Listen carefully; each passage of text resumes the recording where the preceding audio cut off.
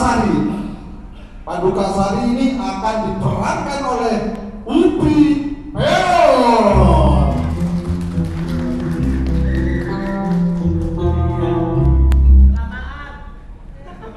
Paduka Sari atau istri kedua dari Raja Kediri memiliki putri yakni Putri Intan Sari diperankan oleh Melisa Ito.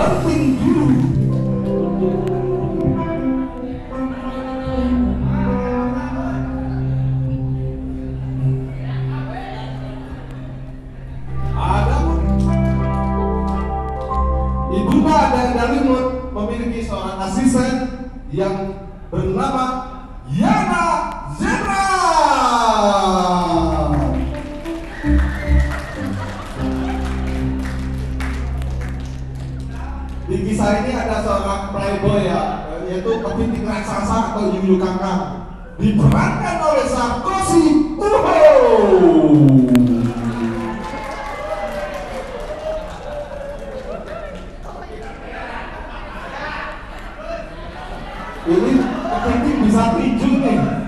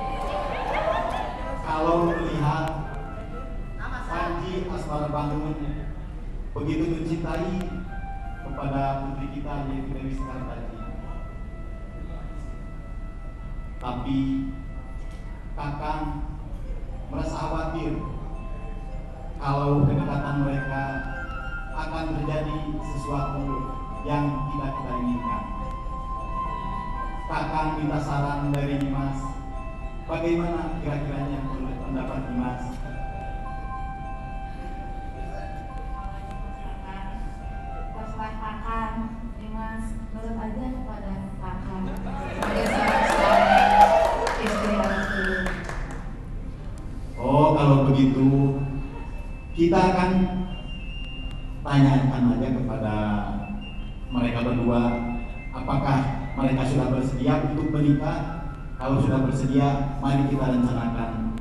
Raja Kediri di sini di sisi lain sumber lain sedang berpacaran antara Pangeran Asmara Bangun dan Putri Dewi Sekar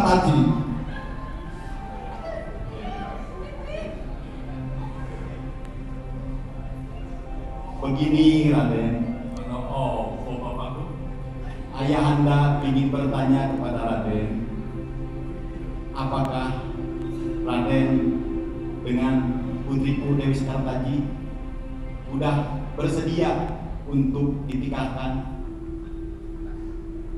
Baginda ayahandaku, memang saya tuh sudah malu sama Pak RT, malu sama Pak RW, penonton ngalelewe bajarkeun teu payu awewe.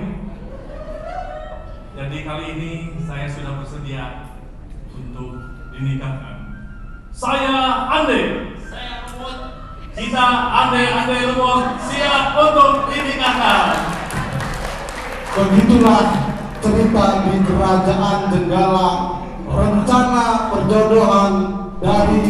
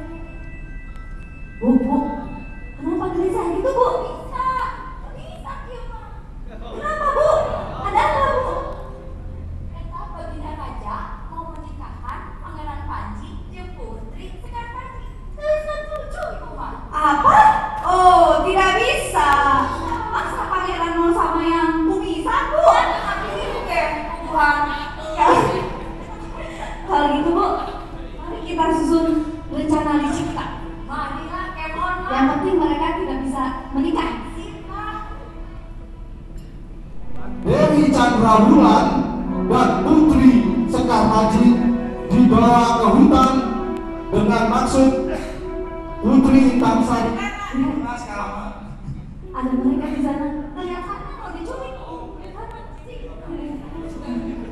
Mari kita susun mereka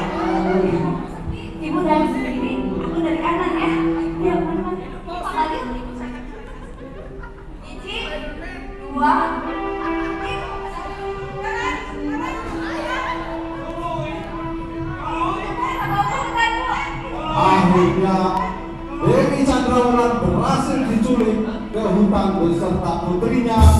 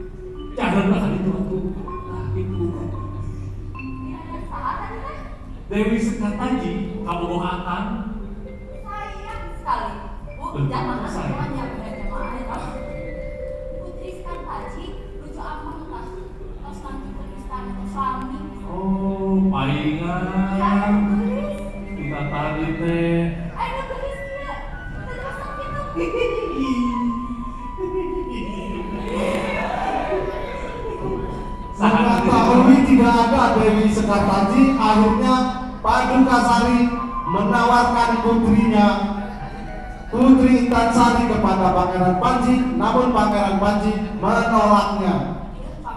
Iya, pangeran. Iya, gitu. Aduh, aduh, aduh, aduh, nih. Gitu, kan? Aduh, aduh, aduh, aduh, aduh. Abdi teh kecantikannya, menolak akan goyangannya, dan menolak akan segala-galanya yang ada di putri ini. Tapi saya disuruh padalang untuk menolaknya. Setelah ditolak cintanya, Pangeran Asmara Bangun pun pergi mengembara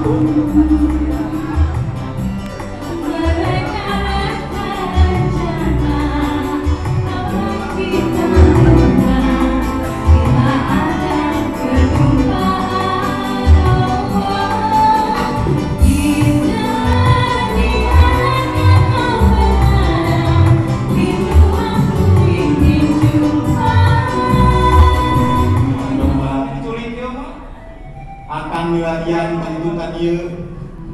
Lebih kan capek ieu Dimas. Di mana Dimas anjeun duaan teh? Bu, gawat. Gajah makan pesawat, Bu. Setelah membaca surat bagi Daud dari istana berangkat menuju hutan.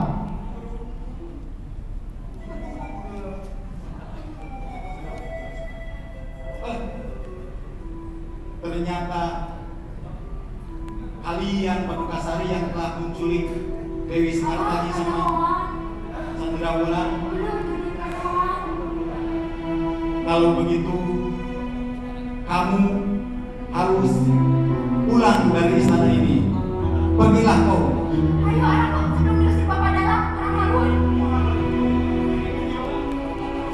Dewi Sekartaji dan Dewi Cakrawulan berhasil dibebaskan, sedangkan Paduka Sari beserta Putri Intan Sari lari malu. Ketika datang ke istana, Dewi Sekartaji tidak dapat menemui Pangeran Asmara Bangun sehingga hampalah episode 5. Penonton,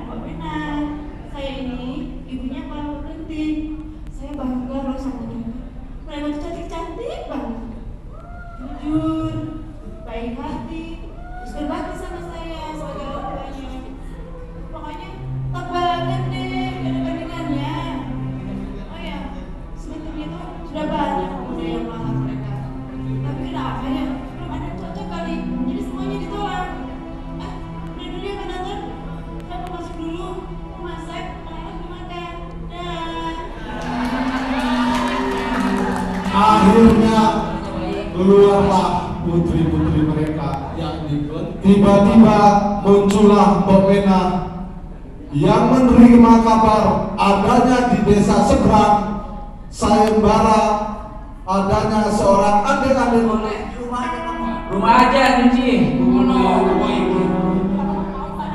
Lenting kuning di anak tirikan.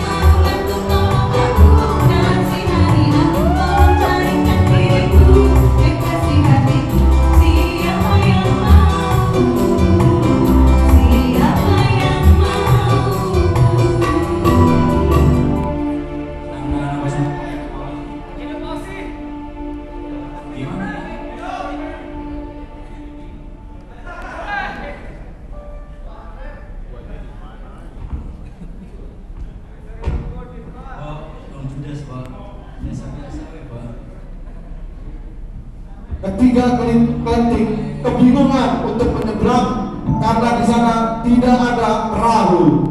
Heran.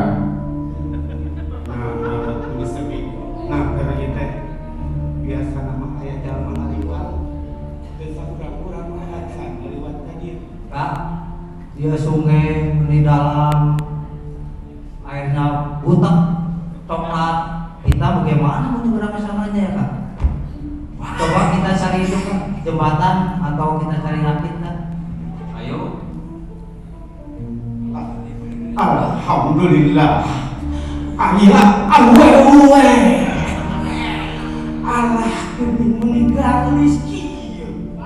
Neng, pada akal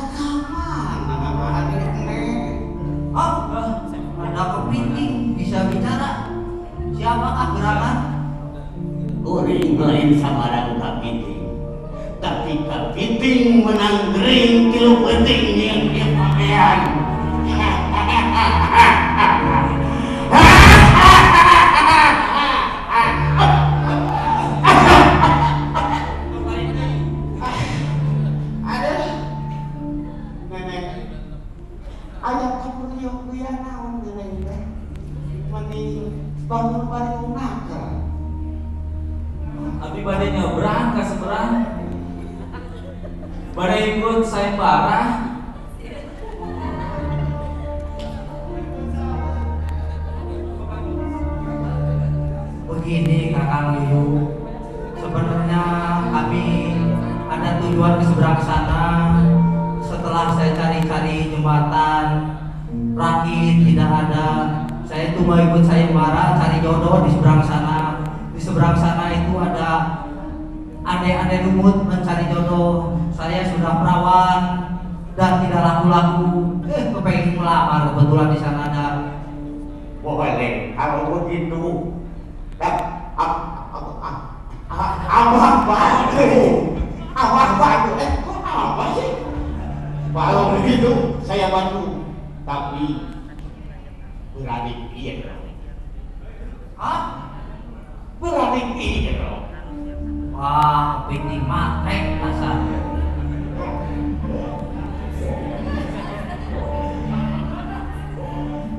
Tak ini ya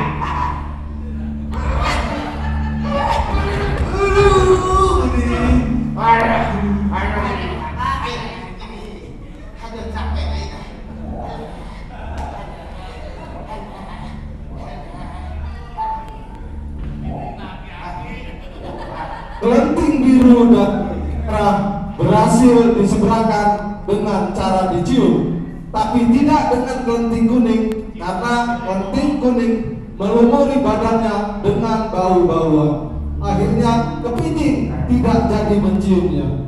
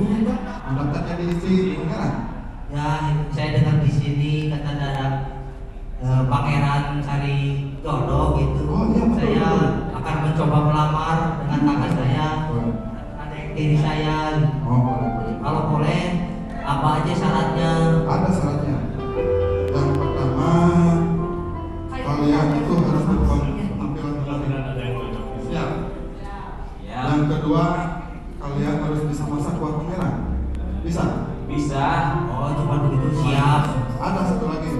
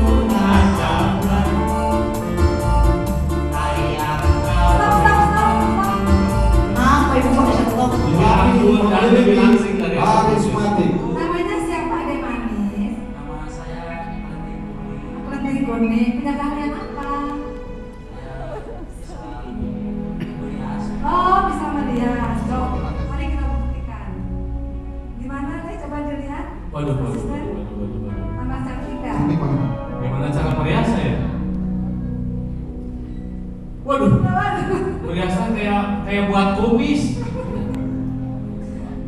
Udah, udah, stop, stop, stop, dek. Ternyata tidak pandai merias. Gimana, Le? Tidak pandai merias, tapi hati saya tidak bisa dibohongi. Oh, ada getar-getar cinta ya, Pak? Walaupun dia meriasnya tidak tidak karuan, kayak seperti bikin kumis dan jenggot, tapi Akhirnya Tidak bisa. Bahasa saya cantik juga orang. Apa ini? Protes saya, ibu protes saya. Hadapi, hadapi asisten, hadapi. Apa ini? Apa ini? Masa yang bilang gini diterima saya cantik ini gak diterima. Oh, Makasih pak. Apa ini? Gelenting merah dan gelenting biru tidak diterima dan kasihnya tidak sama.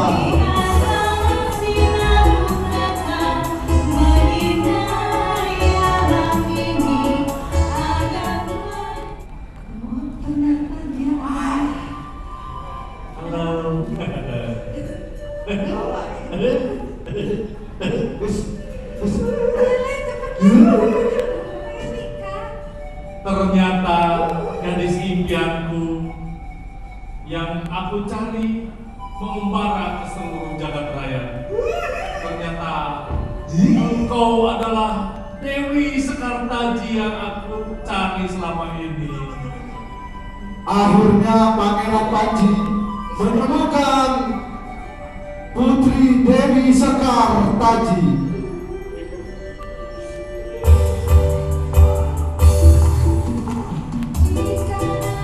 Itulah akhir kisah dari.